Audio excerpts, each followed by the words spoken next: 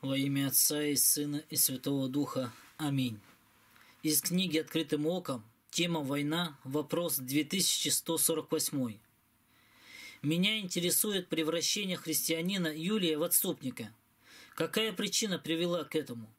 Может, так же, так же было и у Ленина, так как вы его с ним сравниваете по таланту? Отвечает Игнатий Тихонович Лапкин. Исключительно талантливый человек – Думал ли он серьезно уничтожить не человека одного, а христианство? В конце он все же показал, что он сознавал, что борется не с видимыми противниками. Тогда зачем же он такую авантюру затеял? Псалом 36, 35-36 стих. «Видел я нечестив... нечестивца грозного, расширявшегося, подобно укоренившемуся много, много, ветвистому дереву, но он прошел, и вот нет его, ищу его и не нахожу. Кирилл Иерусалимский, 18 марта, кавычки открыты. Констанций умер в 361 году во время похода против своего двоюродного брата Юлиана, провозглашенного войсками в Галлии императором, куда он сам его назначил главным командующим. Юлиан – отступник, племянник Константина Великого, сын его брата Юлия Констанция. Родился в 331 году. В 345 году вместе с братом Галлом был сослан к Каппадокию Констанции, где под строгим надзором провел 6 лет. В 351 году он покинул место ссылки и провел несколько лет в Никомендии, где увлекался изучением философии. В 355 году был назначен Констанцием начальником войск в Галлии. Здесь он умел привлечь любовь войск, войска, которое в 361 году и превозгласил его императором. Изучение философии под руководством учителя-язычника, раздоры среди христиан вследствие арианских волнений, ненависть к Констанцию возбудили влияние ненависть и к религии своего притеснителя – христианству. Он задался целью восстановить язычество и уничтожить христианство. Но все, все его попытки потерпели полнейшую неудачу. Юлиан умер в 363 году в походе против персов. Василий, 22 марта. Объявляли Юлиане отступники. Кавычки открыты. «Ты не помнишь наград, приготовленных рабам Христовым, не постыдился алтаря, который спас тебя от убиения, когда тебя, восьмилетнего ребенка, искали убить, и ты был спрятан в священном месте. Ты не исполнил закона, который своими устами проповедовал часто, когда был клириком. За это и Христос, Царь Великий, не поменет тебя в своем вечном царстве. Но это временное царство скоро отнимет у тебя. Тело твое не сподобится погребения, когда ты извернешь душу свою в лютой болезни. Это предсказал святой о скорой смерти Юлиана, труп которого после погребения земля выбросила из недр своих. Борис, 2 мая, кавычки открыты. Император римский Флавий, Клавдий Юлиан Отступник, царствовал с 361 года по 363 год. Он отрекся от христианства, стремился восстановить язычество. Был убит в битве с персами и умер со словами ты победил, галилеянин. Кириак, 28 октября, кавычки открыты. Был епископом Иерусалимским. Он прожил до царствования Юлиана Отступника. Последний во время похода на персов прибыл в Иерусалим и здесь потребовал святого Кириака на суд и принуждал его принести жертву идолам. Но святой решительно отказался сделать это. Тогда император приказал отрубить ему правую руку. «Много посланий написал ты этой рукою», — сказал он, «и многих отклонил от почитания богов». Афанасий. 18 января. Кавычки открыты. По смерти Констанция на престол царский вступил, вступил Юлиан, который принялся уничтожать Констанциевые уставы и законы и возвращал всех из изгнания. Узнал об этом и Афанасий, но он опасался, как бы ариане не привлекли своим нечестью Юлиана. Тогда еще не обнаружилось отступничество Юлиана и совершенное отречение его от Христа. Тем не менее, святой Афанасий среди глубокой ночи вышел из вышел упомянутого дома девицы, в котором скрывался, и явился посреди церкви Александрийской.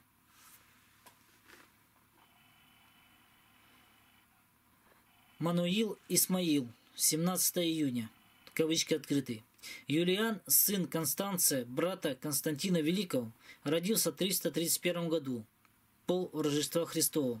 Сначала он был обучен в христианской религии, но став кесарем в 355 году, он открыто оттор... отторгся от христианства, за что и получил название отступника. По своим философско-религиозным убеждениям Юлиан был эклектик, то есть он из всех религиозных учений выбирал себе все то, что ему нравилось, и было вообще согласно с его миросозерцанием. Он веровал и во единого Верховного Бога, но отождествлял его с Митрой или солнечным богом восточного культа.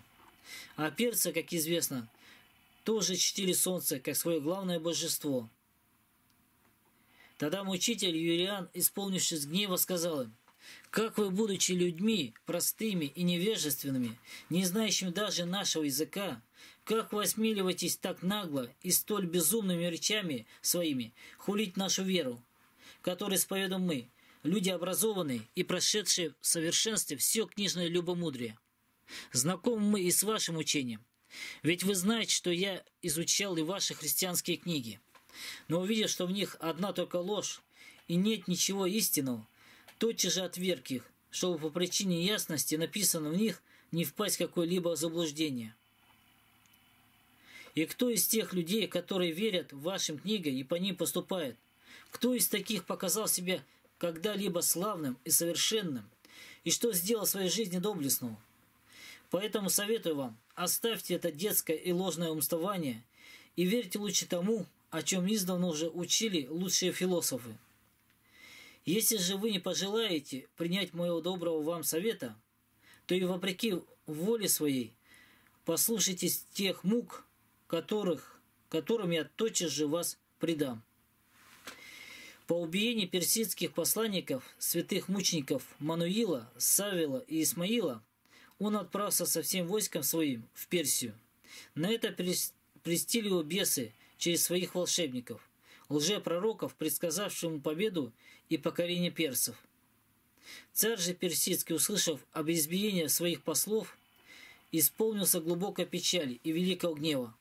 Узнав, что на него идет законопреступный Юлиан, он также собрал все войско и, став на границе своего государства, ополчился на гордого своего врага. И когда оба войска сошлись, началась великая битва – но перцы скоро превозмогли и победили римское войско, сокрушив таким образом всю силу Юлиана. Вот при этой, этой-то битве богоотступника Юлиана и поразил гнев Божий. Нечестивый император поражен был невидимой рукою и погиб в великих муках, став под конец посмешищем для всех перцев, на которых он так гордо выступил, своей суетной надеждой на радость бесов, в которых он веровал и на которых так надеялся. Христиане же, освободившись таким образом от жестокого гонения и мучений, прославили Избавителя своего, Христа Бога, которому и от нас да будет честь и слава со Отцом и Святым Духом ныне и присно и во веки веков. Аминь. Как известно, Юлиан выступил в поход против персов 5 марта 363 года –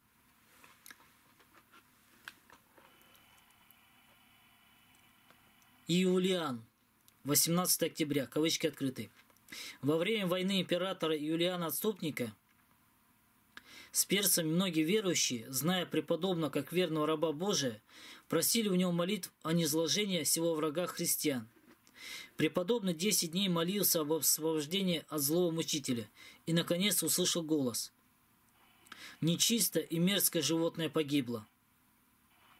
Окончив молитву, преподобный с радостью возвратился к братьям. На вопросах о причине его радости Юлиан отвечал, «Братья, настоящее время есть время благодушия и радования. Нечестивца не стало. Восставший против Господа получил достойное поражение от преследовавшей его руки. Поэтому-то я и радуюсь, видя, что гонимым церкви торжествуют. И отступник не получил никакой помощи от демонов, которых чтил. Артемий, 20 октября, кавычки открыты. Он разослал по всем странам своего царства, восточным и западным, указ о том, чтобы те храмы, которые в царствовании Константина Великого были отняты христианами у язычников, теперь были снова отданы язычникам. Чтобы унизить христианство, нечестивый Юлиан, взяв из раки кости святого пророка Елисея и мощи святого Иоанна Крестителя, кроме честной его главы и правой руки, которые лежали в Севастии, и смешав их с костями животных и нечестивых людей, сжег их, а пепел рассеял по воздуху. Артемий, 20 октября. Кавычки открыты. Ты, Артемий, знаешь и сам, что брат мой, Гал, безвинно из одной зависти был умершлен Констанцием. На престоле более прав имел наш род, чем род Константина. Ибо отец мой, Констанций, родился у деда моего, Констанция от дочери Максимиана. Константин же родился от Елены, женщины простого звания. К тому же дед мой тогда еще не был кесарем, когда у него родился сын от Елены. А отец мой родился у него тогда, когда он уже вступил на, вступил на престол. Но Константин дерзко похитил царскую власть. Сын его, Констанций, умертвил моего отца и братьев, убил недавно и брата моего, Галла. Хотел он убить и меня, но меня спасли из его рук боги. В надежде на них я отрекся от христианства и уклонился к еленской религии. Я хорошо знаю, что вера еленская и римская есть вера древнейшая, христианская же явилась недавно. И Константин принял ее, отвергший древние добрые римские правила жизни, только по своему невежеству и неразумию. И боги возненавидели его, как нечестиво и недостойно доверия их. Боги возненавидели и отвергли его от себя, а его нечестивое потомство истребили от среды живущих. Не правду ли я говорю, Артемий? Ты человек старый и разумный. Рассуди же, правду ли я говорю? Итак, признай истину и будь нашим, ибо я хочу, чтобы ты мне был другом и помощником по управлению царством. Услышав сие и немного помедлив, святой Артемий начал так говорить. «Прежде всего относительно твоего брата скажу тебе, царь, что я не повинен в его смерти. Да и вообще, я ни делом, ни словом никогда не сделал ему вреда. Сколько ни расследуй, ты ничем не докажешь, что я был повинен в его смерти. Я знал, что он был настоящий христианин, благочестивый и послушный закону Христову. Да ведут небо земля и весь лик святых ангелов и Господь мой Иисус Христос, коему я служу, что я не повинен в убийстве твоего брата и ни в чем не содействовал его убийцам. Меня и не было с царем Констанцием в то время –